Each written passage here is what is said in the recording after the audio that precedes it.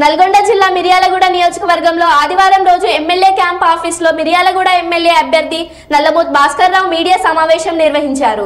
ఆయన మాట్లాడుతూ ఈ నెల ముప్పై ఒకటిన సీఎం కేసీఆర్ ఆశీర్వాద సభను విజయవంతం చేయాలని గత పది ఏళ్ళుగా కేసీఆర్ ప్రభుత్వం అభివృద్ధి సంక్షేమ పథకాల్లో ముందుకు దూసుకుపోతుందని మరోసారి నియోజకవర్గ ప్రజలు నన్ను ఆశీర్వదించి ఆదరిస్తే నియోజకవర్గ ప్రజల ఆకాంక్షలు నెరవేరుస్తానని తెలిపారు.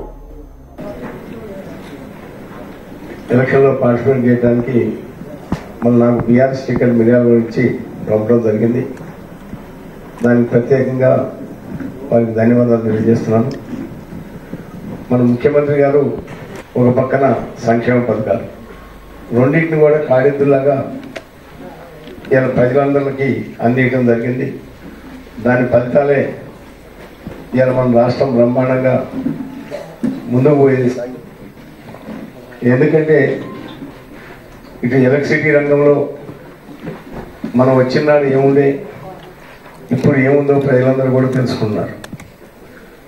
ఎందుకంటే ఆ రోజు ఏడు వేల మెగావాట్లు ఉన్నదాన్ని ఈ రోజు ఇరవై నాలుగు వేల మెగావాట్లకి కరెంటు పెంచడం జరిగిందని మనం చేస్తున్నాం ఇరవై నాలుగు గంటలు కరెంట్ ఇవ్వట్లేదని వాళ్ళు అన్నారు.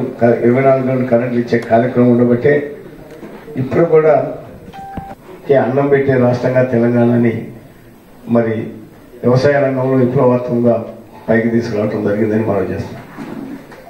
మరి అదే విధంగా ఇవాళ కర్ణాటక కాంగ్రెస్ ప్రభుత్వం వాళ్ళు ఇదివరకు ఎప్పుడు వాళ్ళు చేసింది లేదు ఇప్పుడు చేయంది చేసేది లేదు వాళ్ళు వచ్చేది లేదు కానీ మరి వాళ్ళు ఇవాళ డీకేస్ మరి డీకే గారు ఇవాళ స్వయంగా ఆయన కాదు రైతు బంధు రైతు బీమా కళ్యాణ లక్ష్మి షాది ముబారక్ మరి ఆసరా పెన్షన్లు మరి కేసీఆర్ కిట్ అన్ని అన్ని రంగాల్లో ఆయన చెప్పిన మాట ఇరవై నాలుగు గంటలు కరెంట్ ఇచ్చే కార్యక్రమం కానీ ఏ కార్యక్రమాన్ని కూడా ఇది కాకుండా మరి ఆయన చెప్పడం జరిగింది.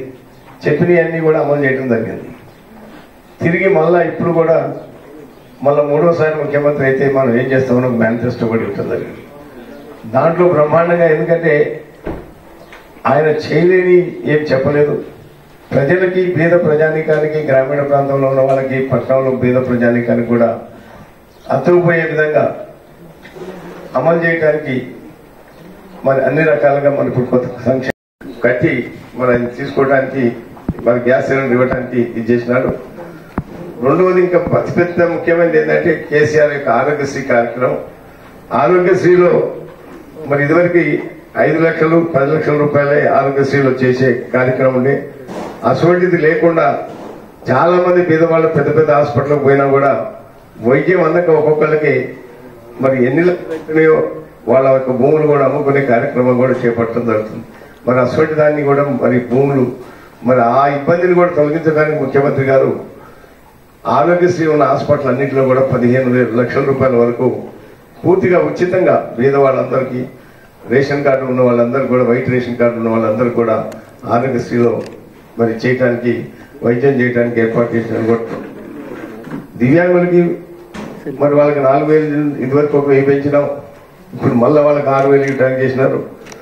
ఇంకా ముఖ్యమైన విషయం ఏంటంటే చాలా మందికి మైనార్టీలకు కానీ బీసీలకు కానీ అందరూ కూడా రెసిడెన్షియల్ స్కూల్స్ ఓపెన్ చేసి మరి అందరు కూడా మరి యొక్క విద్యా దాంట్లో మరి వాళ్ళందరూ కూడా లక్ష ఇరవై ఐదు వేల రూపాయల ఒక్కరి మీద వెచ్చించి స్కూల్స్ పెట్టడం జరిగింది. వాటన్నింటిని కూడా అప్గ్రేడ్ చేసి మన డిగ్రీ కాలేజ్ దగ్గర అప్గ్రేడ్ చేయడం కూడా జరిగింది. మరి అది కాకుండా పేదలకి ఇది మంచి కార్యక్రమం. పేదలకి చాలా మందికి ఇల్లు లేవు. మరి ఇదివరకే పెట్టిన స్కీమ్ పోయినసారి పెట్టిన స్కీమ్లోనే ఇల్లు ఇచ్చే కార్యక్రమం మొదలుపెట్టినారు.